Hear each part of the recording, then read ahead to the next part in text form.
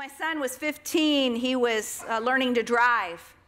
We had been over in Indianapolis visiting my parents, one who had been in the hospital, and Evan had made that trip with me. And as we got ready to drive back to Bloomington, which is a two and a half hour drive, he said, Mom, can I drive? I, I get the hours, you know, on my learner's permit. And I said, Sure, that'd be fine. So we got in the car and we began to drive, and he's a, a he was a really safe driver at that point in time. He'd had maybe three or four months under his belt and was doing really well. And somewhere on the other side of Champaign, so somewhere between Champaign and Bloomington, all of a sudden the car began to sputter.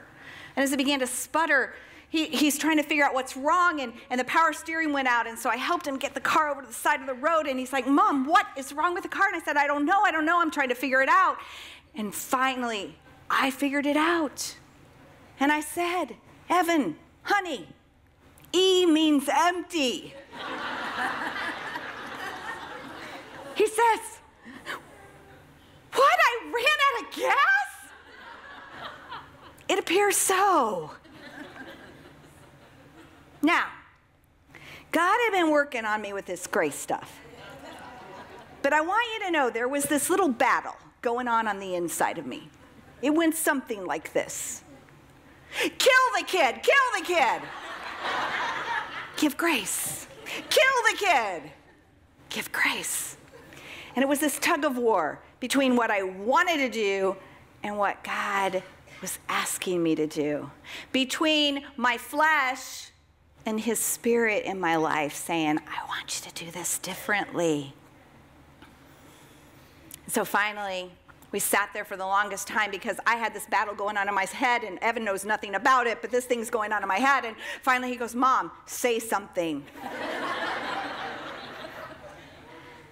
and I finally said, You know what, Evan? It's okay, because we all make mistakes. And you know what? I forgot to mention that it was like um, 10 degrees below zero outside. Yeah, it was in the middle of the winter. So we sat there in this very, very, very, very cold car, waiting for a tow, and I had the most precious hour with my 15 year old son. Precious hour. I had a captive audience, he could go nowhere. but here's the best thing if I would have blown that, it could have been the longest hour of our lives.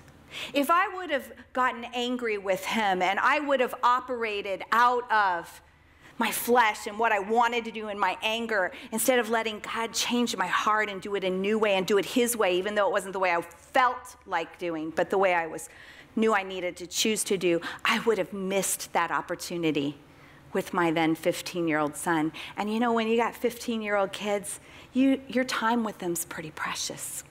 And you don't have those one hour conversations very long.